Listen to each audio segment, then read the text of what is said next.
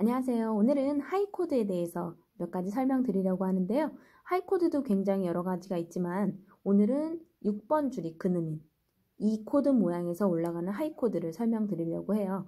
우리가 E 코드를 개방현에서 3번, 5번, 4번 이렇게 잡죠. 이, E 코드에서 약지를 떼어주면 E seven이 되고 중, 검지를 떼어주면 E 마이너가 되고 이랬어요. 그런데 이제 하이코드를 잡기 위해서는 전체 개방현이 없이 발해를 대줘야 되기 때문에 손가락을 여기를 잡았다고 생각을 하고 손가락 하나씩 이동해서 3번, 5번, 4번 이렇게 잡는 거예요. 잡아서 새끼를 떼어주면 이 세븐이 되는 거고 중지를 떼어주면 이 마이너가 되는 거죠. 아까 이, 이 모양 그대로 해서 그래서 이 상태에서 여기에 이제 우리가 기본 음계 C, D, E, F, G, A, B, C에 미, 파와 시, 도 거기는 반음이라는 것만 기억을 하시고 그대로 적용을 해주시는데요. 지판에서 반음은 요 한 칸이에요. 한 칸이 반음이고 두 칸 올라가면 온음이 올라가는 거거든요. 그러면 여기 지금 아까 E 코드에서 E 코드에서 한 칸만 올리면 미에서 파는 반음이기 때문에 이게 F가 되죠. F에서 다시 두 칸을 올리면 F랑 G 코드 여기는 이제 G 코드가 되는 거죠. 솔이 되니까 파하고 솔은 온음이라서 여기서 두 개를 올려주면 솔하고 라는 온음이니까 여기가 A 코드가 되는 거고 마찬가지로 두 칸을 더 올려주면 라하고 시는 온음이기 때문에 여기가 B 코드가 되는 거죠. 그리고 한 칸을 올리면 B하고 C는 반음이기 때문에 여기가 C 코드가 되는 거예요. 그러면 또 아까 이 코드에서 새끼를 떼어주면 E7이 된다고 그랬죠? 이것도 똑같이 적용이 되는 거예요. F7, E7에서 하나를 올리면 F7 두 개 올리면 G7 두 개 더 올리면 A7 두 개 더 올리면 B7 하나 올리면 C7 이렇게 되는 거죠. 그럼 다시 아까 E 코드에서 검지를, 중지를 떼어주면 마이너가 된다고 그랬죠. E 마이너. E 마이너에서 한 칸을 올리면 F 마이너. 두 칸을 올리면 G 마이너. 두 칸 올리면 A 마이너 두 칸 더 올리면 B 마이너 여기서 한 칸 올리면 C 마이너가 되는 거예요. 그 미파 시도만 적용을 해가면서 잡아주시면 이 high코드가 잡히는 건데요. 그럼 마찬가지로 이렇게 온음씩 올리는 경우도 있지만 반음만 올려도 여기가 만약에 F코드에서 보면 F코드에서 반음만 올려주면 올려주는 건 sharp이고 내려주는 건 플랫이죠. 그러면 F, F 샵이 되는 거죠. F에서 반음을 올려줬으니까 F sharp 올리면 G 코드 G에서 하나 올리면 G sharp A A에서 반음 올리면 A sharp B B에서 반음 올리면 B 샵이 아니라 B, C는 반음이기 때문에 이게 C 코드가 되는 거예요. 이런 식으로.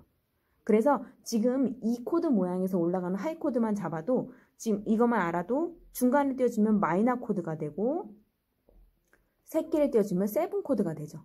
이렇게 많은 코드를 잡을 수가 있어요. 근데 우리가 이제 F에서 중간 떼면 마이너 코드다, 새끼 떼면 seven 코드다 이렇게 그냥 모양으로만 외우는데 그거를 이제 우리가 이제 코드 톤을 배웠기 때문에 왜 이 손가락을 띄는지를 생각해 볼 필요가 있어요. 그러면 여기서 지금 중간을 떼는 이유는 여기가 이 6번 줄이 근음인 E 코드 폼, 이 포지션에서는 이 3도가 여기가 3번 줄이에요.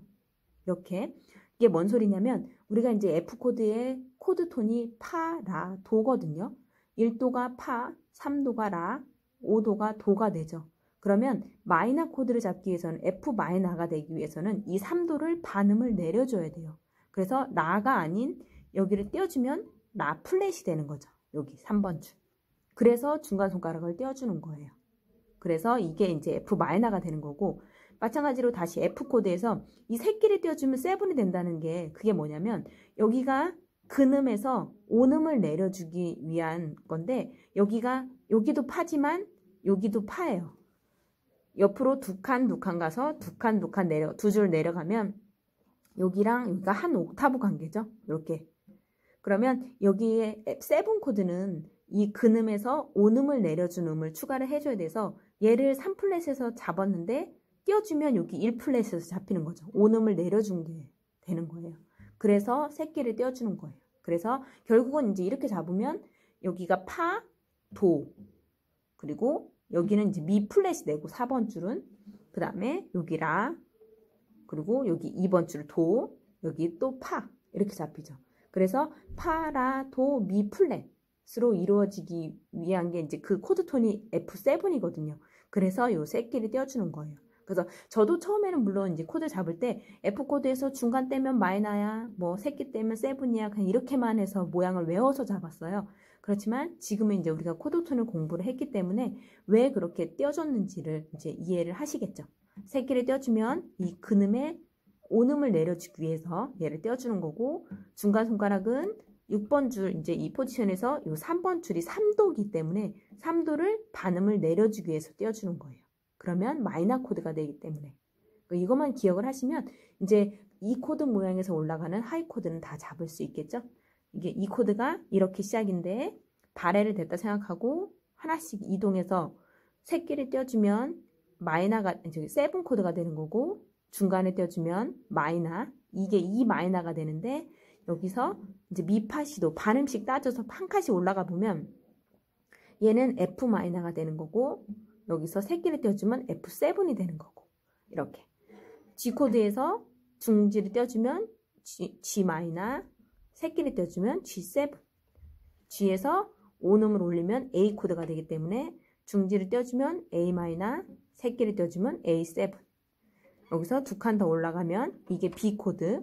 B 코드에서 중지 떼어주면 B 마이너 새끼를 떼어주면 B7 한 칸 더 올려서 여기가 C 코드이기 때문에 C 코드에서 중지를 떼면 C 마이너 C7 이렇게 되는 거죠.